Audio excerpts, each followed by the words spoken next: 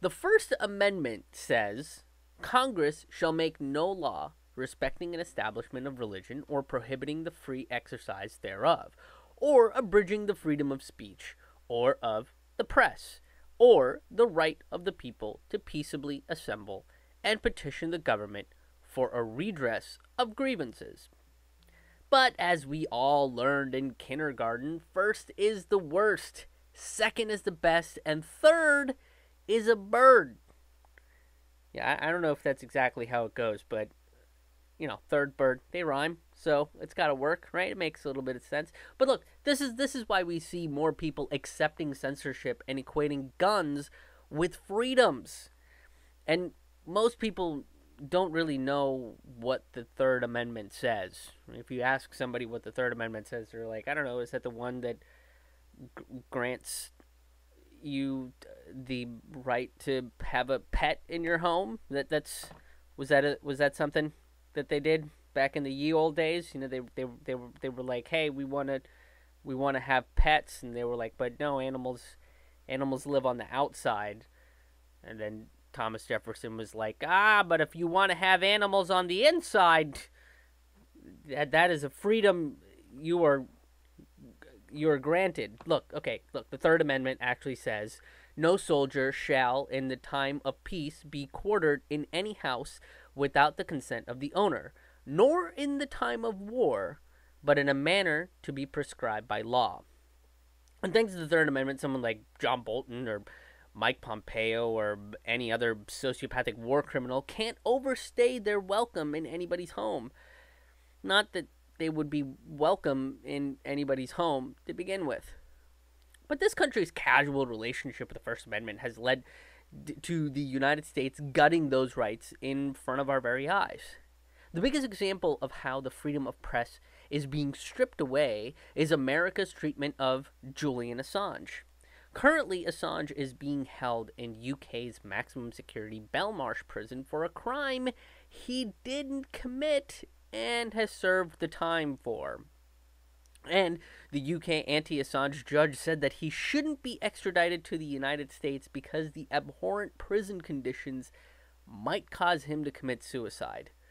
Which, to Joe Biden, the architect of mass incarceration, is a badge of honor. I believe when he was in the Boy Scouts, he specifically asked for that badge, right? Because because he said in the future I'm gonna I'm gonna persecute a, a, journalist, so I want I want a badge. I want a I want a a, a, a freedom of press killer badge. Look, regardless of what the judge said, the United States still wants to extradite and imprison him for expo- exposing the crimes of the rich and sociopathic. The stripping of the first continues with big tech censorship of anti establishment media as well. From the complete demonetization to strikes that prevent you from streaming or posting content, platforms like YouTube are trying to control the narrative and ensure only the state sponsored corporate media perspectives are heard. Anything that challenges the state sponsored narrative will be crushed under the might of Google, Facebook, and Twitter. And now, because of how vast and large the Black Lives Matter and defund the police movements are, state after state are putting forward new anti protest laws. These new laws don't include the already authoritarian ALEC anti protest laws, which fine and imprison activists for protesting critical infrastructure like pipelines, fracking wells, telecom towers, and the return of the McRib. The McRib has been critical in destroying the internal pipelines of the human body for decades now. Look, these boilerplate laws are written by ALEC a, and is funded by the Kochs. And this is another glaring example of how our government is run by corporations, and we really are the corporate states of Wall Street. One nation, under the dollar, divisible for profits. Florida kicked things off this time around with its vaguely worded anti riot bill. This immediately equates any protest with violent riots. Now, the claim here is that trying to reduce they're, they're trying to reduce property damage but are fine with human beings being damaged in any capacity that you can damage them, right? But look, do you know how hard it is to build a, a, a new storefront or, or a new target? Okay, you, you, can make a person in like nine months, and I've heard that it's kind of pretty fun to do that. You know, but buildings take years to get off the ground. So, according to Florida, this bill is thinking of the children by allowing the murder of adults to make more children. It's a very human centric bill if you completely change the definition of humanity. Now, Oklahoma and Iowa have bills that would reward a driver for plowing through a protest if the protest takes up space on a public road. You know, bicycle bicyclists uh, occupy public roads too. Should cars be able to plow through them for a minor inconvenience? I mean, this bill justifies the death of Heather Heyer, who was killed in Charlottesville in 2017 by a white supremacist that rammed his car through a march. And it justifies the countless cops that have done the same. And by the transitive property of douchebaggery, we can see how cops are the same as white supremacists. Right? Both groups have the same mentality. I, I don't like these people marching to stop me from killing without consequences. Okay, maybe if I killed them, they'll understand. This paranoid logic that's taught is that's taught to all cops and racists, right? And at which point cops and racists have become the same thing. And if you're a cop and you aren't racist, don't worry. You'll either get booted from the force or have to become racist to keep your job. Yay, criminal justice.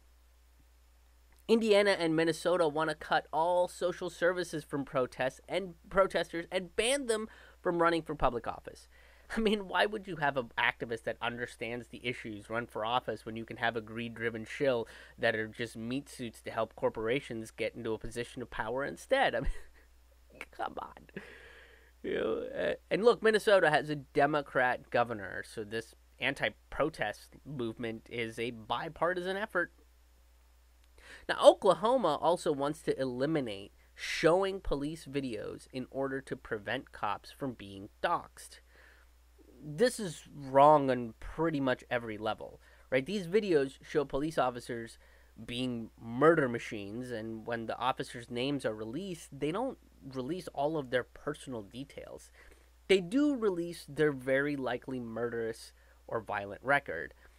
That's not called doxing. That's called evidence of a corrupt, violent, racist, and broken system. But that's the lesson learned from Der- the Derek Chauvin trial. Don't show the video, right? And North Carolina is taking a cue from Oklahoma and not releasing the video of Elizabeth City's sheriff department murdering Andrew Brown Jr., who was parked in his driveway with his hands up. The defense attorney claims that Brown's car moved towards the officer, which is why they had to fire four times into his right arm and one shot to the back of his head. Look, this is an execution, whether you believe the attorney or not. But Judge Foster in Elizabeth City said that showing the video would create a serious threat to the fair, impartial, and orderly administration of justice. And this is the lesson that they learned from George Floyd's murder don't release the incriminating evidence that shows how racist and brutal the police actually are. It's hurting those fundraising numbers. If you want a fair, impartial, and orderly administration of justice, then this criminal justice system should get rid of qualified immunity and stop putting killer cops above the law like they're in a poorly made Steven Seagal movie. By not showing the video of the event, the cops get to control the narrative and put their blood soaked thumb on the scale. And that's nowhere near fair or impartial, and their attacks on protesters make them far less than orderly. But North Carolina is banning protests in its own special little way. In order to protest, you need to get a permit from a cit- from the city 15 to 90 days prior to the protests. Nothing says civil disobedience like being told how to be disobedient.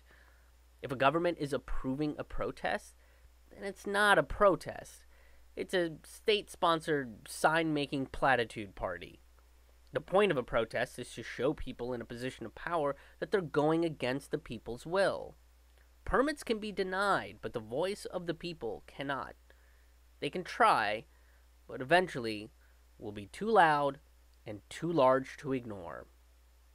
Now, Eric Nelson, Chauvin's gaslighting attorney, wants to vacate his guilty charges because the trial was too public and might have swayed the jury. Sorry, Eric, but you're wrong.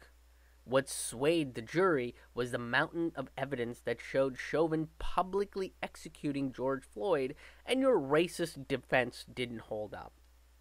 The videos showed uh, uh, uh, how fucked up this system really is. And in North Carolina, they're ensuring they don't get another guilty verdict for a killer cop. The violence of the police doesn't end at just murdering innocent people of color. It's the answer to protests against police violence, too. In my hometown of Pittsburgh, police shot a protester in the eye with a quote, less than lethal rubber bullet, proving that anything fired at a couple hundred meters per second is always lethal right? Every, I mean, everybody's heard of the, the, the, the, tall tale of how a feather can cut through a building when it's uh, in a tornado. Uh, this is the same thing, right? I mean, the, the protester, Alex Horrell, was then charged with a felony riot and several other misdemeanors. I bet the riot he caused was when he yelled out in pain when he was shot in the face by the Pittsburgh police. As if the abuse of this protester ends there, right? Back in April, during a hearing, the arresting officer, Officer Stumpf, accosted Horrell, claiming that he was taking photos of him in the courtroom. Horrell was texting his roommate and proved that there were no photos being taken. Now, Derek Chauvin was also just as paranoid in the courtroom during his trial, too. His eyes were darting everywhere. He couldn't keep focused on one place. Look, this is a sign of both steroid abuse and a guilty conscience. The irony here is that drug abuse is often used as a defense for police violence. Right? They, they were all hopped up on drugs. Okay, all, all, all the ones the DARE program tells you not to do. We had to kill the person of color, or they'd kill us. This is like saying we all have to eat hamburgers and steak all the time because cows could eat us instead. They won't. Okay, N- none of their four tummies can stomach the putrid meat of human beings anyway.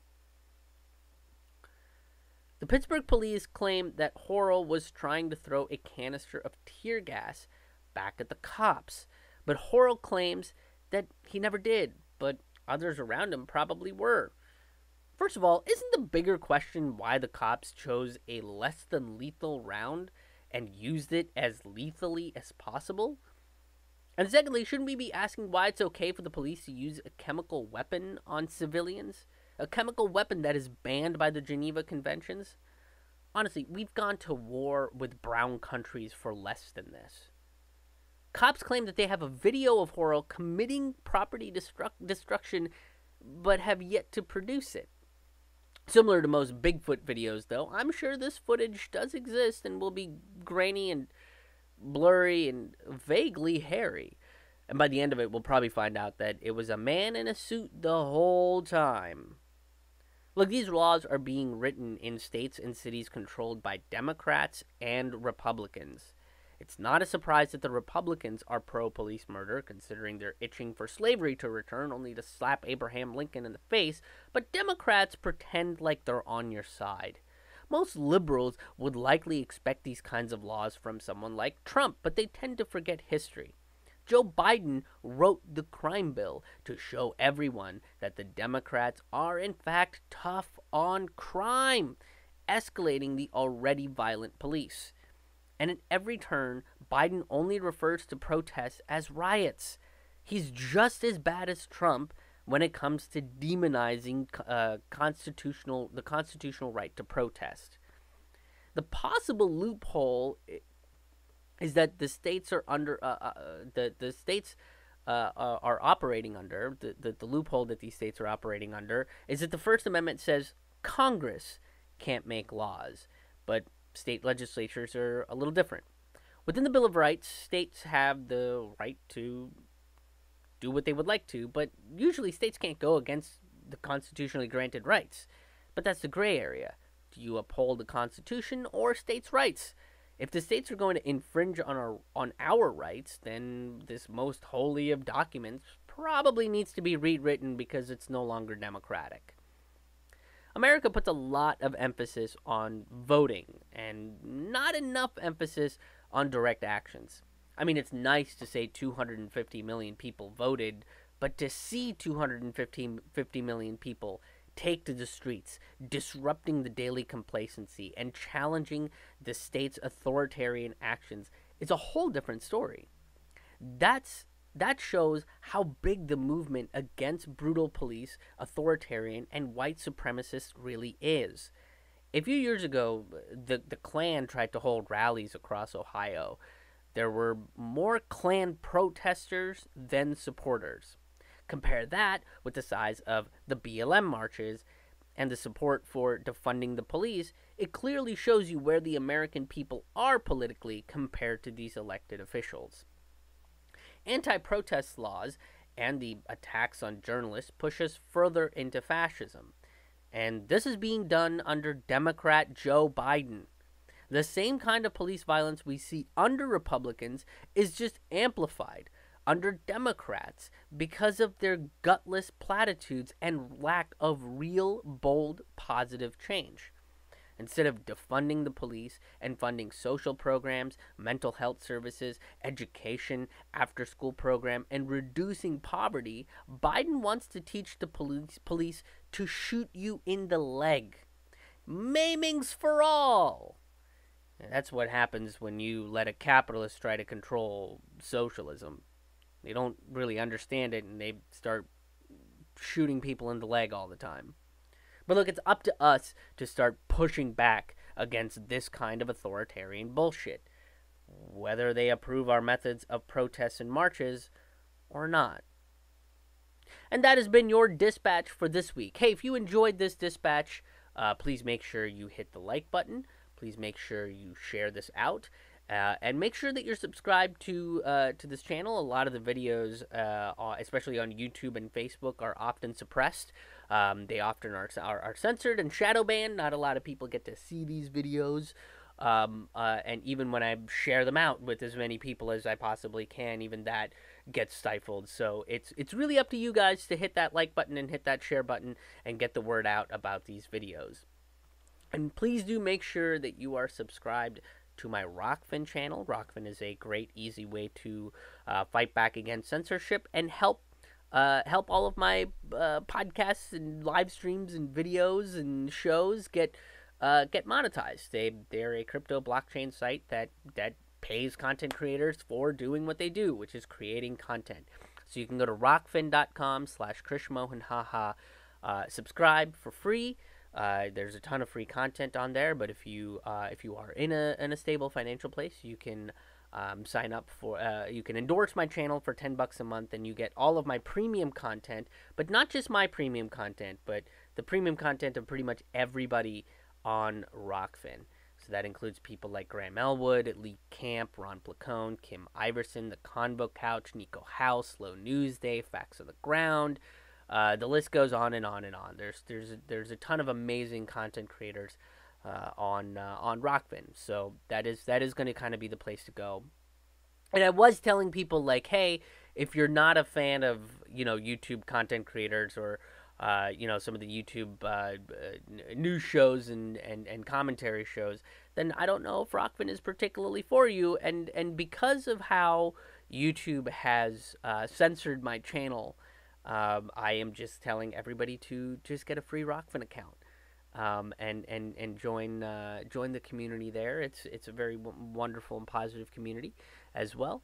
Uh, so um, yeah, I, I, would encourage you guys to go there. Rokfin.com slash. Uh, I've got my live virtual comedy shows back in action and the very last Friday of every single month. They happen at 8 p.m. Eastern, 5 p.m. Pacific. Tickets are $10, and every month it's a brand new show covering a brand new socio political topic that you won't hear on corporate mainstream networks. And as a bonus, uh, some months you might get to hear a weird, quirky story from me related to the topic of discussion, or there might be a special guest joining the show. These are musicians, storytellers, comedians, activists, so on and so forth. Uh, they they will be uh, kicking off the show uh, with a with a set at the at the top, and then it'll lead right into the socio political commentary. Uh, and look, if ten bucks is a is a little bit too expensive, I totally understand. Shoot me a message or an email, and I will make sure that you get a ticket to come check out the show via Zoom. Uh, secondly, if you want to uh, financially contribute to the show and you are on stable financial ground, you can do so uh, at krishmohanhaha.com slash donate. That's K-R-I-S-H-M-O-H-A-N-H-A-H-A dot com slash donate. The biggest way you can help is by becoming a sustaining member, make monthly contributions, uh, which means that you get free tickets to the virtual comedy shows that I just talked about and the live ones when the live ones come back. Uh, you also get early access to uh, certain Fork Full of Noodles videos. You get to ask me questions, which I'll then respond to either in live streams, uh, standalone videos, or as a segment on the virtual comedy shows that I do. And then those will be released as premium exclusive content just for the members. Uh, you get uh, addition bonus stand up comedy and storytelling content. So tons of things for becoming a uh, sustaining member. But if sustaining membership isn't in your cards, you can also make a one time donation as well. And um, I have now included a statement of transparency, which lets you know exactly what you're contributing to um, and what you're helping me uh, uh, achieve, what goals you're helping me achieve by becoming a sustaining member, by, by, by getting me one step closer to making this my full time job again. It, it, it, be doing comedy full time and creating content full time was my full, uh, was my job full uh, pre pandemic, but uh, because of the the way the world is now, um, I'm unable to do that without uh, without the do- without donations from you guys, from the people. And lastly, I want to mention that I do have a online merch store. That's right. I've got uh, t-shirts. I've got uh, mugs, hoodies, you name it. It's there, probably, kind of. Uh, but it's available on my website, krishmohanhaha.com. Uh, it's the merch tab, and uh, there all of the designs have been made by me. There's seven designs uh, on the site right now, but that's due to probably go up. I'll probably make newer designs and release them as as as time goes on. Um, but there's a Julian Assange shirt that's available right now, and I'm going to donate all 100% of all of the profits made from that shirt to pro Assange um, groups and journalists and activists. Uh, people like Action for Assange, right? Uh, Kevin Gosztola, Richard Medhurst, folks like that. Uh, I'm going to make my donations to them. Um, so, so if you want to help, um, you know, uh, people that are covering Assange, uh, hit the spotlight a little bit more, then then grab that shirt because I'm donating all of that to them. Uh, and last but not least, you can grab all of my stand-up comedy albums directly off of my Bandcamp at krishmohanhaha.bandcamp.com. My albums are available for a pay what you want uh, price range on Bandcamp, but if you just want to listen to them and you don't want to, you know, have them take up room in your computer, I totally get it. Uh, you can also stream them off of Pandora. It's available on iTunes and uh, uh Google Play. All of the all of the ways that you listen to music. Uh, with all that said and done, uh, thank you guys for tuning into this show. Thank you guys for being regular listeners to this show. I very much appreciate it. And thank you to all the people that do donate regularly and have become sustaining members because uh, I wouldn't be able to continue doing this without you guys. So you guys really make this uh, possible. And I am very, very, very appreciative of that. Ash Krishmohan, haha.